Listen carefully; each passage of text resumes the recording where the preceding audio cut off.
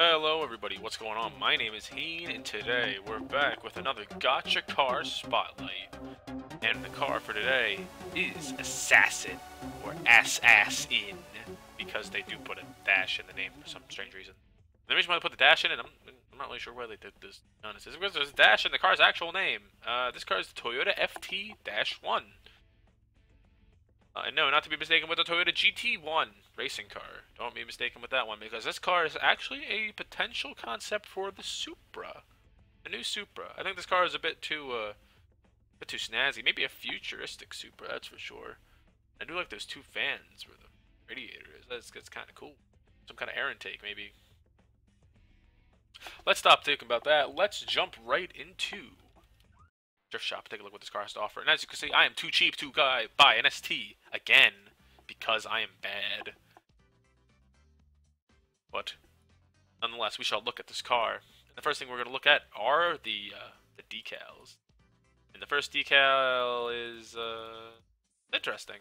Uh, adds a bunch of stripes to the car. I feel like that already exists. Like that. Yeah, almost. It looks a little bit different, but uh, yeah, that, that's uh, that's interesting. And then we have this one here too, which uh, which adds more stripes. Uh, these ones happen to be orange and black, so you can be a tiger. So you can put some uh, undercoat on it and uh, be a little bit like a yeah, be a tiger. Ah, you're a tiger. I'm sorry. I'm sorry that happened, everyone. Anyway, let's keep looking at the aero kit on this car. This car's a really, really cool aero kit because Supras always have cool aero kits. And uh, oh, whoa, whoa, this one doesn't have an aero kit. Okay. Um, that is a bit strange. Um, I do see some of the pictures of this car, there, there's a convertible version. I was expecting to see the convertible be an aero kit option for this car. Oh well, that's okay. I guess this car does look cool without its aero kit. And I do believe this car does not have any snazzy wheels.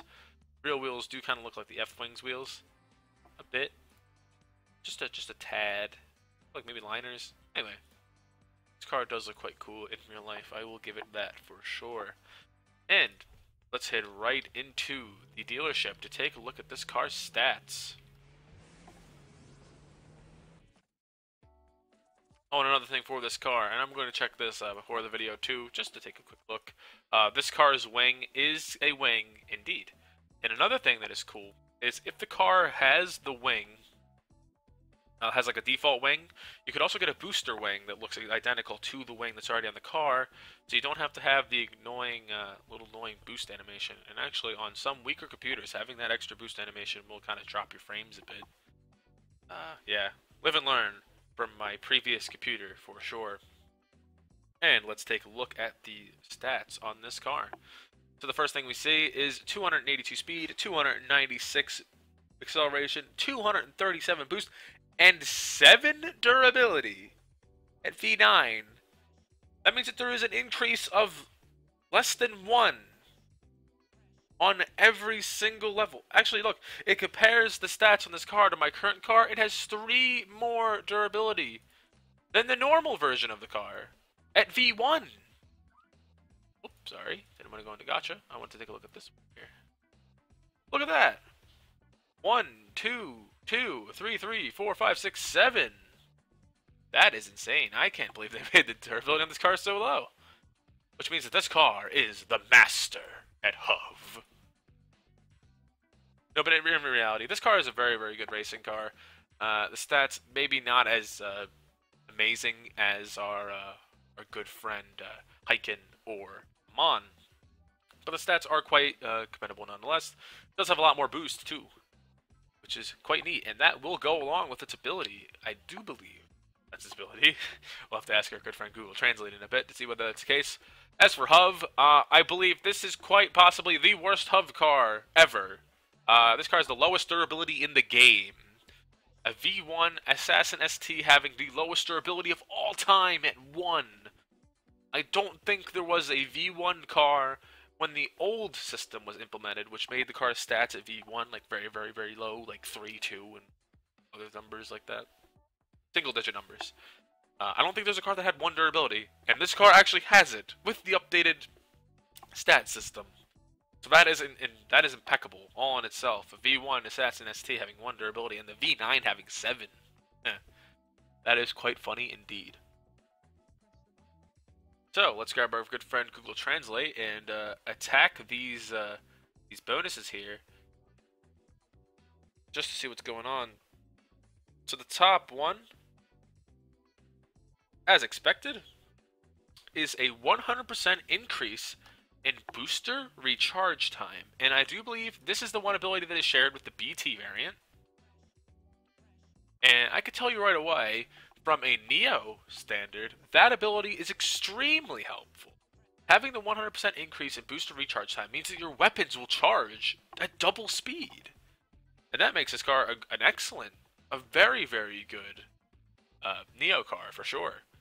And the other bonus here, the 50% speed reduction on crash, which is better than Le Mans for sure, and uh, will definitely help out with your racing. However, this car does not receive any kind of speed boost, meaning this car is slower uh, than the other two uh, racing cars that I have previously discussed. But it is kind of interesting, though, that it does have the 100% increase in speed, uh, so, sorry, 100% increase in booster recharge time, and it does boast a much higher booster stat, being that it has you know, no durability at all, which may come at a disadvantage for racing for sure. So, where is my final verdict on the Toyota FT1, aka the new Supra? I'm going to give this car a 8 out of 10. Not quite as good as Le Mans, but I'd say it's just as good in its own regards to Hyken. And let's go over that right now.